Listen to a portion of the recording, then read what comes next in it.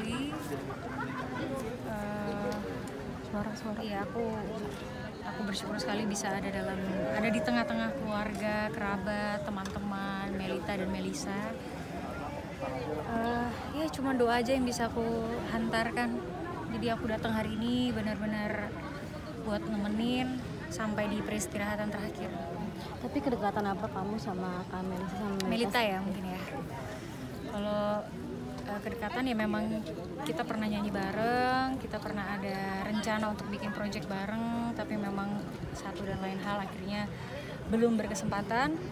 Uh, ya kita berteman baik mungkin lewat sosial media dan uh, misalnya Melita punya project atau aku punya project kita sambil ikut saling support.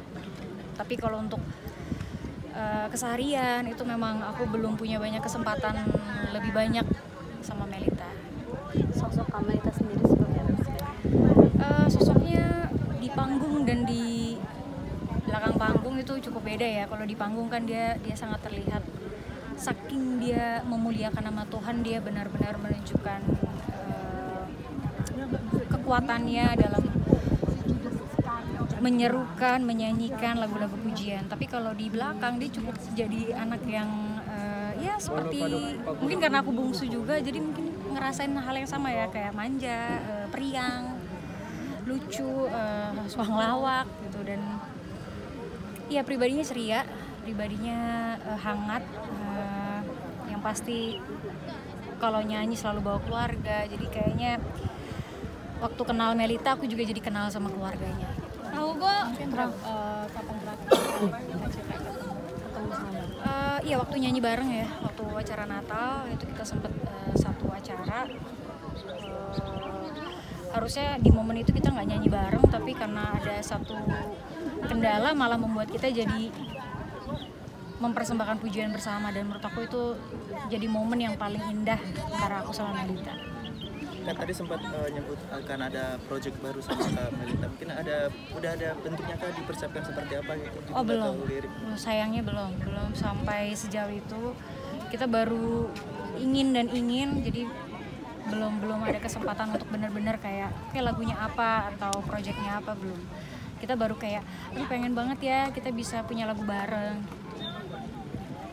Tapi apakah dengar kalau Kak Melita ada sakit apa sih Kak sebelumnya Oh enggak, aku untuk sampai ke itu cukup pribadi ya. Jadi aku kurang tahu sih. Yang aku tahu orangnya ceria, orangnya sehat banget, uh, saking sehatnya. Jadi kalau misalnya ketemu dia kayak memberikan energi yang positif. Dia nggak pernah nunjukin kayak sakit atau capek atau apa. Justru kayaknya semangatnya tuh lebih banget gitu kalau misalnya udah mau pelayanan. Gitu ini kedekatannya seperti apa pertama itu sama orang tuanya sendiri wah kita bisa lihat ya kedekatannya dekat sekali uh, aku juga ngerasain hal yang sama aku punya dua kakak cowok uh, ya keluarganya terlihat sekali Melita dan Melisa menjadi perkat keluarga dan um, terlihat juga saling saling menyayangi saling uh, support abang-abangnya mama papanya selalu siap sedia buat Melita. Ya buktinya pas mereka nyanyi aja mereka pelayanan uh, orang tua selalu ada. Jadi aku ngelihatnya dekat sekali.